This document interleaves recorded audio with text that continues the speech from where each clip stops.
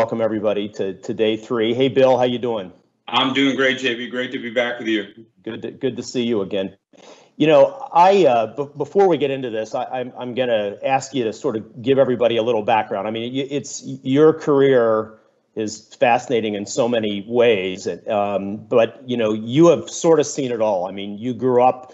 Um, you know, I, I think you started at Xerox, right? And and you know, but you've lived in the on-premise license and maintenance software world. You transitioned SAP uh, from that model to a cloud SaaS business, and now you're running a, a pure SaaS business at, at ServiceNow. So you've you've sort of seen it all. Can, can you just give us a little bit of background?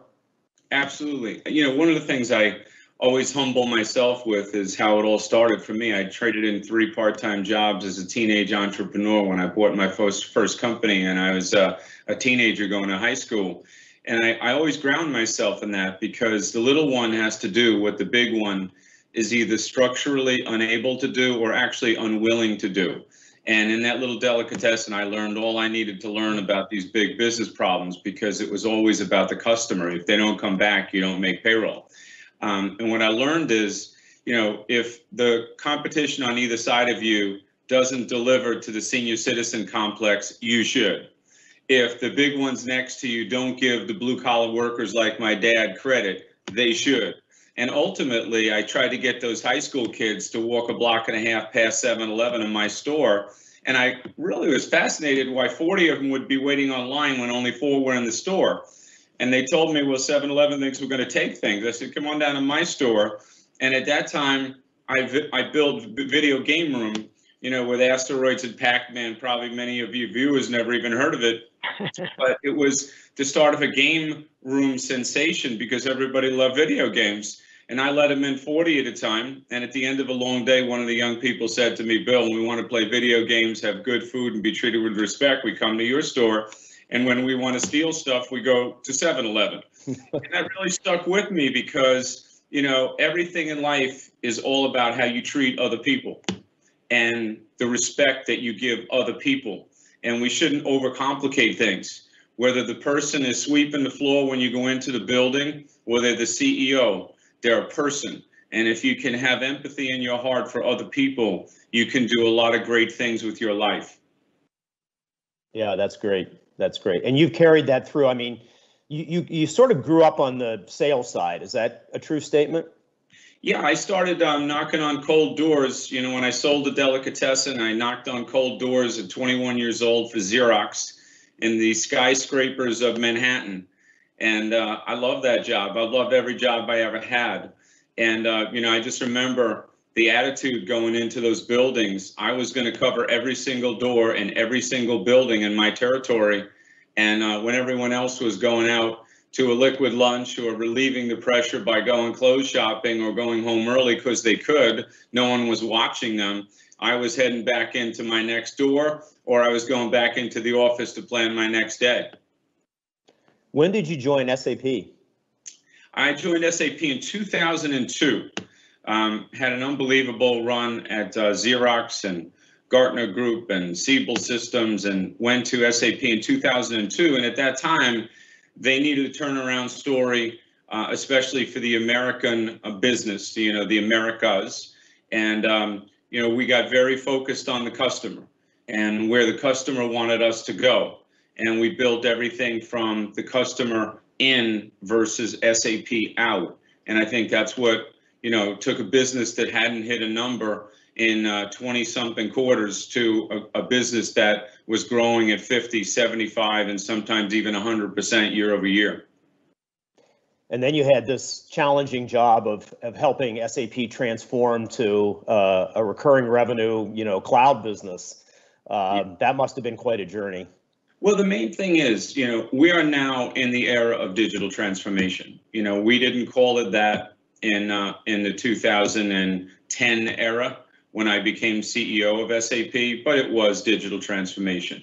Companies today do not have the time or the resources to create these clouds for themselves. They do not have the time and the resources to know what to buy, how to maintain it, how to upgrade it, and have all the skilled assets on premise to deal with the ever-changing landscape of information technology. So what happened was it was clear after the financial crisis of 2008 that the line of business executive, as well as the CIO and CTO, were going to align around we got to rent this stuff. We got to get with the experts who do this better than anybody else and consume it as a service so we don't have to handle the maintenance and worrying about the upgrade and the innovation cycle. We're just going to buy a service. And that really has revolutionized the entire industry. And uh, I think it's driving cloud computing on a multi cloud level. It's accelerating digital transformation. But the most important thing that it's enabling, if you play it right, is business model innovation. Because what got decision makers from there to here is not going to get them from here to there. So they have to really be thinking how digital and these platforms are going to be uh, key to competitively beating anything that comes in their space because their people aren't doing soul crushing work. They're actually focused on their customers, delivering great products and great services and growing in geographies and industries and personas. They're thinking about a great future instead of maintaining the past. Yeah, that's that's a, a great sort of summary. And and it's interesting, you know, when you think about the the business capabilities that are required of a business, a, a technology company in 2021 and, and beyond. Um, how do you see those capabilities differently? You know, what, what's required today that really wasn't uh, a big critical success factor 10 or 15 years ago? Uh, I would put out empathy, first of all you know, eh, there were times where technology, if you had a decent product or a decent uh, service, would have been consumed, even if you didn't deeply understand the customer. Today, you won't get away with that. You have to deeply understand the customer and their goals and start every conversation with what they're trying to do with their business. Really understand them. And I, I encourage people to prepare deeply um, before you enter into these conversations so you have a good guidepost on where you think they need to go, and then the meeting is more about confirming where they need to go. So empathy is going to be key. Um, the other thing that's really key is speed. You know, they don't have time. You know, so these long-standing multi-year projects, that's over. The multi-month projects are at risk. Um, it's more about weeks and days now. So everything is about rapid speed time to value, and how are you going to get the job done? And then I would also say, in that regard, remember, you know, the customer is simply hiring your technology to do a job. You know, they're not like going on a rocket ship to Mars here. They're hiring the technology to do a job. The job they want done is they want some outcome associated with their employees getting a great experience or their customers getting a great experience and ultimately creating a loyalty effect where that technology or that service is doing something great for people. Because in the end, it's the people that really matter. And if you can deliver on those promises and innovate and take them someplace special, you do very good. Yeah, you know, it's we talk a lot about what we call outcome-based uh, selling and outcome-based relationships, and you know, the the the the old days of let me show you my features and functions have, have really you know gone away right? It, it is about and, and i think you said a very interesting thing early early on which is you know they they have their own vision of the business outcome but but ServiceNow in this case has done this with a lot of customers right? And they're expected to bring a vision of the business outcomes that are possible to the table. And it's the merger of those two things, right? It's the merger of the customer's vision for where they want to go and the business outcomes that ServiceNow knows it can deliver. That's the magic. But it's not easy to get, you know, that sales team to really be adept at, at that, especially if they grew up feature function first. Absolutely. The, the first and, uh, and, and most important thing I would recommend, you know, thinking about this strategically is understanding the dynamics of the boardroom and where the CEO is trying to take the company. And then there are always um, teams around the CEO that are aligning around common goals and shared values. If you don't understand that very clearly going into the conversation, you're not going anywhere because there will be conversations where the CEO and the teams are actually just frustrated and stuck and they actually don't know where to go. So your innovation has to stimulate their ideation to take their business to a, no, a new place. So I think the one tendency on value and this outcome-based selling that I've seen, it's getting a little mechanical. And if you forget the innovation side of that conversation and you go right to what you think the value is, that's product selling. You're not really value selling. You have to first have the innovation at the edge of the cliff before you can take the value and then the post sale value realization conversation seriously. They want to go for a dream. If you can get the dream state really locked in, then you can control the whole conversation and take it all the way.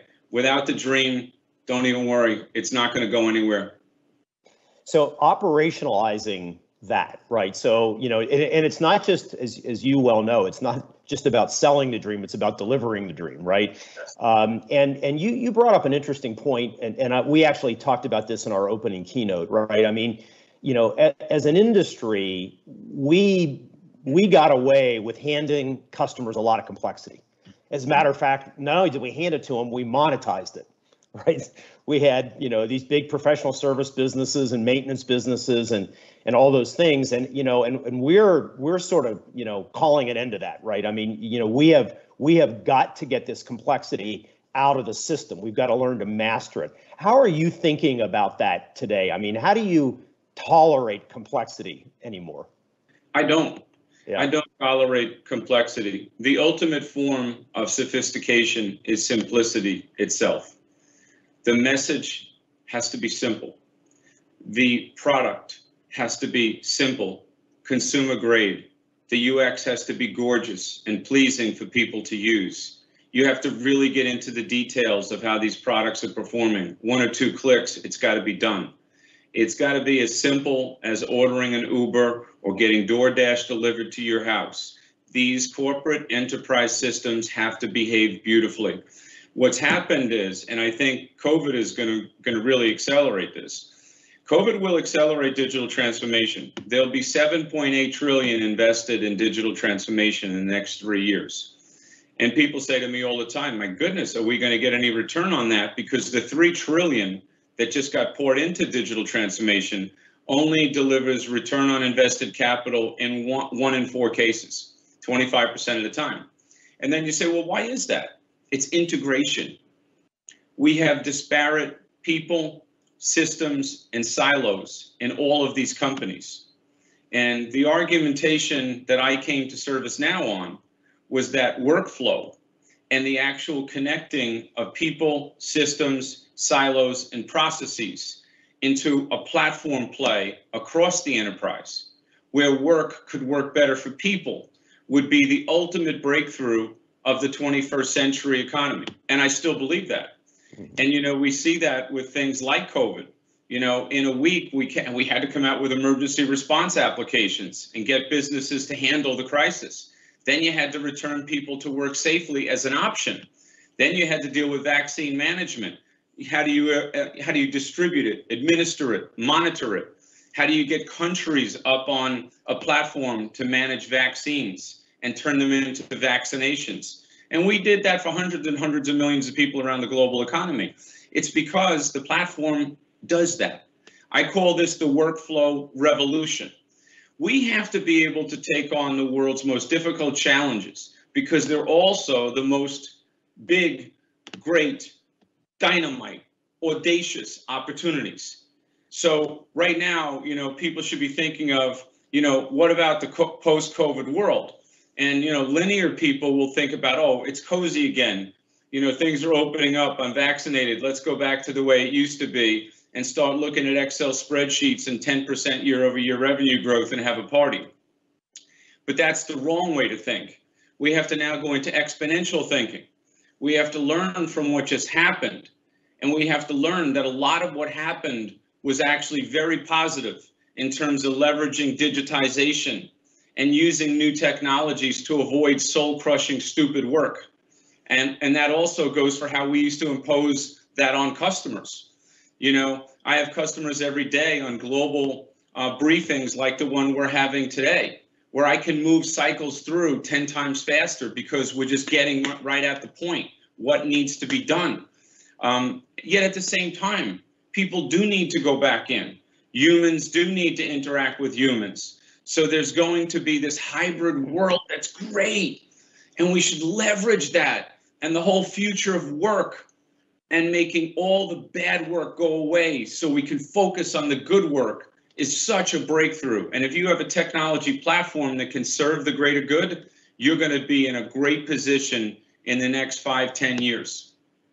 You know, one of the, the I, I would say one of the biggest challenges that CEOs deal with on a day in and day out basis is getting their organization ready to take advantage of the opportunity. I mean, what you just described, I don't think anybody, you know, on, in, in this event right now would disagree that there's going to be just tremendous opportunity for those companies who are really able to, to operationalize the vision.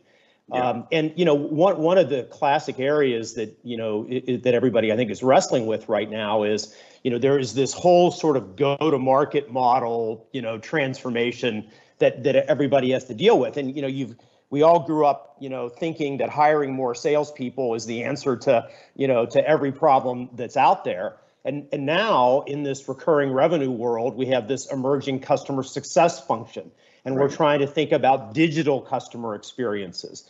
Um, so when you think about, you know, the, the again, we, we, we know we need a really effective sales team, but we also know we need a, an effective customer success motion who can drive adoption and expansion and renewal how do you right. think about the coexistence of those two organizations? Well, I've always believed in shared values and common goals. One of the things we have to do is stop considering them two separate organizations because they're both in service to the customer. And if you can align their goal orientation, their value system, their compensation schemes, and really tie it more into the return that they're giving the customer and what the customer is getting out of the whole bargain. You'll start to motivate the right types of behaviors. Right now, in most technology companies, the services side is a necessary thing, but it's not something that's the lead thing. I think we have to reinvent these businesses and create software businesses out of the services businesses themselves. I think the customer has to have a a la carte menu of the services that they wish to procure. And it shouldn't be a segment of one thing. It should be something that's delivered on a continuous basis and they can switch from one to another at their leisure. But they subscribe to it no different than they would subscribe to a great software product. We're moving into a world where the consumption of value has to be thought of as the customer hiring us to do a specific job. It's our job to articulate with clarity what the job is that we're doing so the customer has, has a clear understanding. Um, so we have to fuse these things together. We have to also be incredibly open to an ecosystem. Unfortunately, in tech, the ecosystems have developed on old rules. The vendor tells the um, partner, these are my goals. I need to achieve this. Build your services around it, and we expand together. That's wrong. What we have to do is design things around the customer, the specific industry or micro vertical that they're in, the players that they're competing against, what they need to do to win, and how that goal orientation of both the vendor who's got the technology and the um, partner who's probably got the services offering, how do they team up around that imperative? And what you'll find is birds of a feather flock together. So if you're dealing with a manufacturing company in Minnesota, there's going to be big similarities to one in South Korea. And this is how we build global businesses built on real, real value to real customers doing real things that matter. And that's really what makes great partnerships work, where you can move with great speed and agility to scale fast, get big fast. And that's not out of bounds with what the customer wants because they want the implementation to happen yesterday. They want the value realization to happen yesterday. And actually, They have so much to do, they want to get on to the next project tomorrow. So, speed and agility, the resilience of these partnerships have to be built on an unbreakable bond of trust and value creation for the customer. Yeah, you know, the, this issue of the, you know, that that everybody's got to transform, right? The the, sure. the the the vendors have to transform, the partners have to transform, the customers have to transform. And you know, and and I, you know, we get asked all the, you know, all the time, right? What what is, you know, I want more partners who have these capabilities. And and quite frankly, there aren't enough of them, right? And many of the traditional partners are really struggling in this in this transformation. So what do you have to say to them? We have a lot of of them, uh, you know, in the audience today. Um, how do how do you see their business model changing? How are they going to make money in five years? Well, I think the big, again, the big thing will always come down to the value creation for the customer. And I really do think that in the services business, there's great opportunities to have shared values with the customer on the outcome of the results that they generate. And even if that doesn't end up being pleasing to the customer, which it often hasn't been. Because when you get to that level of the conversation, you're so confident in your ability to deliver, and the customer can see it in your eyes. So right away, they they'd rather get the traditional buy model. Um, I think it's going to be much more subscription based than it is today. For sure, that'll be the biggest change that you'll see. But there'll also be revenue and profit sharing much more between the services delivery model and the customer. And I think that's really a good thing because it just brings everybody closer and closer together. You know, I've always felt that leadership is all about inspiring followership. And, you know, when a leader in services has a vision or a leader in a product business has a vision and they know what they're doing and they know what the value is that they can deliver, almost any business model can be pleasing to the customer because they're going to ultimately get what they want, which is a great return on whatever they invest. And they're going to have very happy employees, or very happy customers, and very happy shareholders. And that's kind of what it's all about.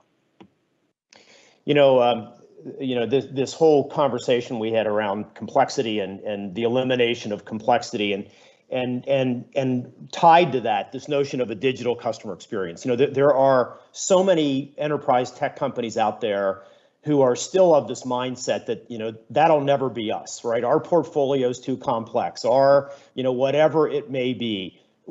Um, and we're saying you know quite frankly that's bs right? You, you you've got to deal with that. And and customers do want a digital customer experience. They don't want to have to go person to person throughout every single transaction in, in their entire solution lifecycle so, I mean, I I get that there's a lot of complexity in these these big legacy companies, but what do you have to say to them about that?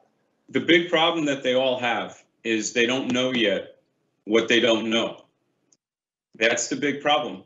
And I'll give you an example. Yesterday, I was speaking with a very large, prestigious manufacturer. They cannot connect their su- supply and demand chain digitally. And you say, well, why can they not do that? Um, because they have so many departments. Um, they have so many legacy systems. They have so many different workarounds that they built with people doing dive and catches, solving problems. And they haven't truly rethought the value chain of a digital end to end supply meets demand process. Now, that's the problem statement. Right away, what do they think they have to do? Oh, probably I have to upgrade my system of record to the latest release and then maybe if I get it in the cloud, everything will go away. They're just making the ditch deeper because they haven't rethought the way the work is being done. I showed them on the Now platform, and yeah, I am telling you ServiceNow does that. On the Now platform, not only we, could we connect the supply and the demand chain, but I can call out a disruption on a fire in California and how that'll impact the demand chain and and then we push the workarounds through to the people on their mobile device on what they might want to do to overcome that obstacle. And you give them machine learning ai and virtual agent options so they are well equipped to make a decision on the iphone as they go about their daily business as opposed to having 18 different meetings nine conference calls flying in from here and there trying to figure out what the problem is you got to remember one thing, JB. If I don't get anything across today, the world has moved from a system of record to a system of action. The world has moved from on premise to cloud. The world is going to be a multi cloud world. We are going to be responsible for business model innovation. The choices around digitization across the value chain have been made, and there is no going back. And I think the big wake up call is don't keep pouring more and more cement on top of the system of Yeah. record cement that's already been poured because you're not going to change the game thinking in silos. You have to think in collaborative layers of work across people in different departments to get the job done. It's all about teams. I, I think everybody, you know, who's running a public company today, a, a- a large, you know, traditional public company, um, has, you know, is going to agree 100% with your vision of, you know, your statement of of what they wish they could be. Then there's the the damn reality of of managing the stock through this transformation, right? And I will never forget uh, you were running SAP and you were out uh, doing an analyst tour and you were talking about, you know, the growth in your cloud revenue. And the, I think it, you were on TV and, and the- all they wanted to focus on was the decline in your license business. Yeah. And you almost came across the table uh, at the person who was interviewing you, you know, trying to say you're focused on the wrong thing, right? Right. It- you know, Right. and and so this this thing of how even if you believe the vision, how do I get my shareholders and my analysts and how do I manage my stock price through Right. this transformation that you're talking about? Because all those things you said, right? Rip and replace, a new vision, you know, agility, recurring revenue, all that kind of stuff. It's great, but how do you get there? Yeah, well, you know, you, let's take the case studies, and I'll give SAP as one case study. Uh, when we went on the cloud journey, the company was valued at 39 billion. When we finished it, the day I walked out the door was 170 billion. Um, take Adobe. Adobe, I don't recall their exact stock price, but it was probably similar to SAP's in that range. They were always pretty close, and now they're probably around 250 billion market cap, and they moved the business model totally to the cloud. And there are many other very good examples of that. It takes courage. And leadership without courage is not leadership. And at the end of the day, the capital markets are so smart. They understand the break even point between converting an on premise model to a cloud model takes some period of time.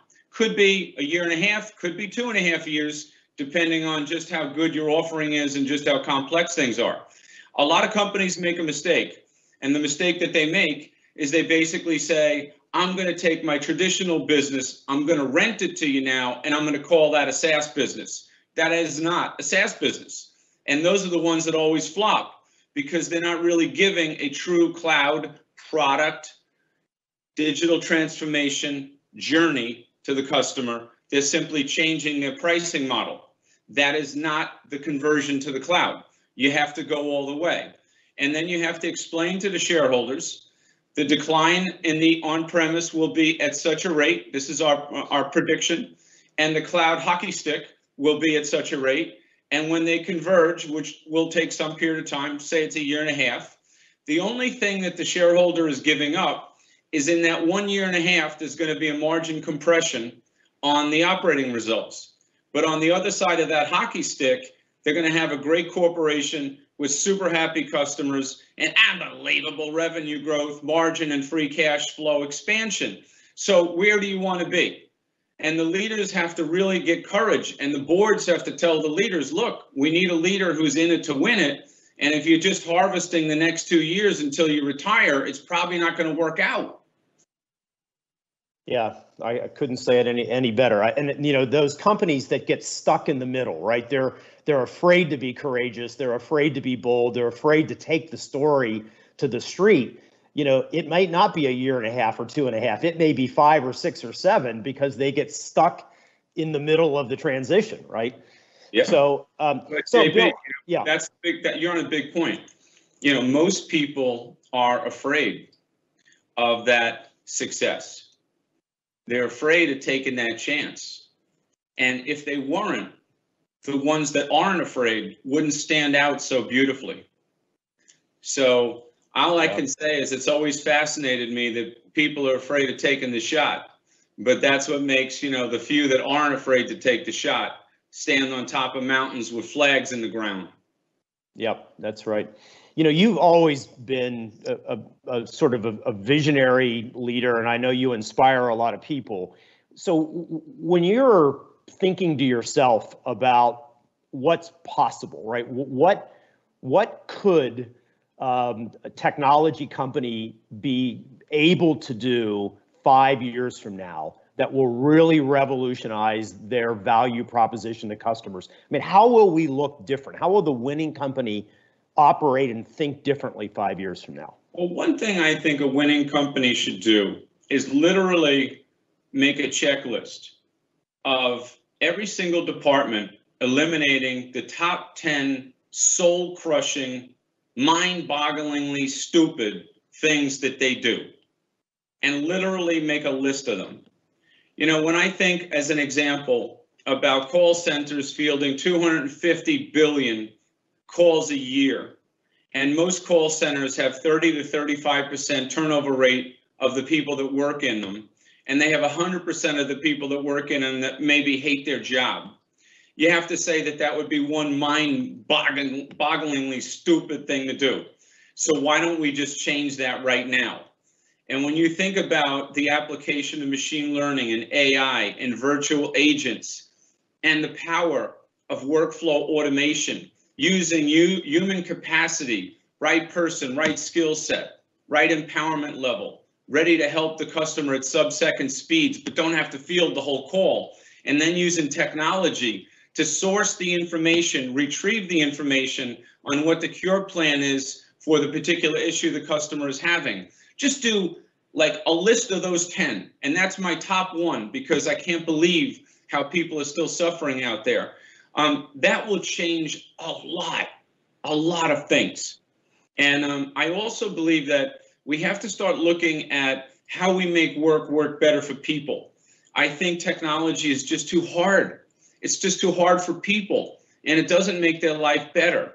And if we can't start thinking about every use case tying into the human experience and making people's lives better, we're just wasting a lot of time. And you know, even if you had a billion bucks in your pocket this morning, you can't buy one minute worth of time with it. So we have to make every minute count. So anything that's about human experience, helping people live to their fullest potential, moving the customer relationship forward with such ease and grace and digitization that they walk away saying, wow, what a company that is. And when the people had to get involved, they knew exactly what was going on, got me through my subscription process, signed me up. I feel fantastic. I think I'll go play golf now or maybe have a martini. I mean, literally, make them feel fantastic. That's great. Well, listen, Bill, we are out of time. It was uh, once again just super enjoyable to spend time with you. Um, I think everybody in the audience got a, a, a lot of great wisdom and, and joy out of the conversation.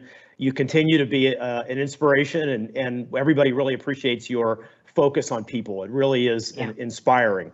Um, and as you said, if you if you take care of customers, a lot of good shit happens, right? So Absolutely. yeah, mean, exactly. Look, JB, as you know, you can get anything in this world you want if you help enough other people get what they want. Focus Amen. on that. You can't miss. Amen, Thank- brother. Okay, thanks. Thank you very Thanks, much. everybody. Take care, Maria. Great. Bye-bye. You, Thanks, Bill. JB.